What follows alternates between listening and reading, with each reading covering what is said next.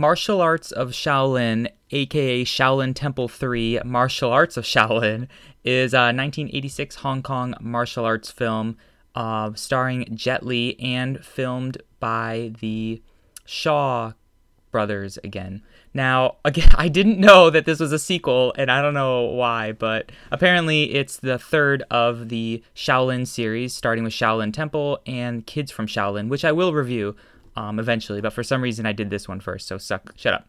So anyway, what's it about? Well, Martial Arts of Shaolin stars Jet Li as, um, aka another orphan, and he starts at the Northern Shaolin Temple where he's training with his friend. And the beginning is a little bit slow, not much is happening, a little comedy and stuff with different masters and um, things like that.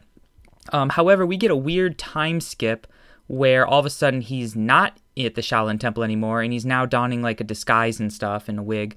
Um, and then we meet two other characters, a young girl, and I don't know if he's related to her or not. I think it's just like a friend or something, but they're kind of like part of this rebel group, and they're planning on attending this birthday festival where this, you know, the evil warlord guy is at. I think he's like a go- he's like not a governor, but I think he's like higher up, magistrate or something.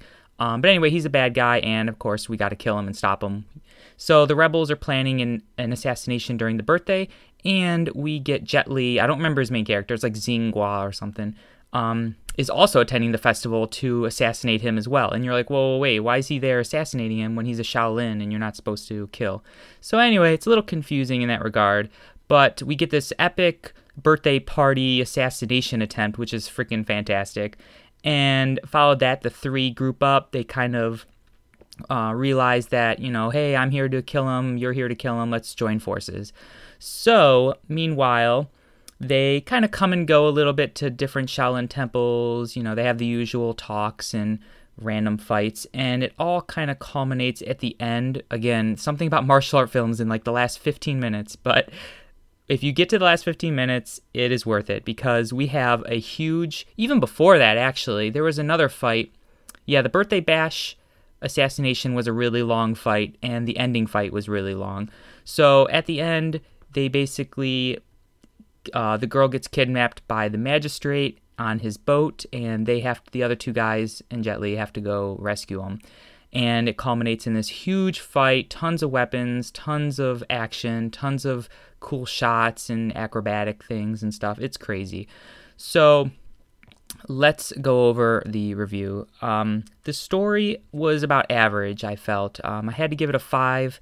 It could be a six, but again, the beginning is. Um, the beginning's kind of normal, but then when we get the time skip, which is odd, and then you find out later that he left the Shaolin Temple because he wanted to um, avenge his parents that got murdered by the magistrate, even though we never knew about it. And then there's this whole thing with these um, foot bells, where he, Jet Li was wearing these foot bells around his ankle and the girl was also wearing them and apparently that means you're supposed to get married to each other or something later on. I don't know. So it was just kind of average the music also average i had to give it a five. Uh, not much to say about it really. Um, it kind of had only a few tracks that kind of just played on and on. But i mean they like come and go. But did were they distracting? Not really. Um, the audio quality that I was viewing them on was kind of bad, but I don't blame the movie for that. Um, but otherwise, it's just kind of average. The effects, however, were really good, and I kind of tied into the fighting, but the effects I have to give a solid 8. Uh, usually a 7 or an 8 for the effects here. Um, yeah, there's a little bit of blood, a little bit of cool weapon techniques and stuff, but nothing overly done. But what was there was really good, so a solid 8 from them.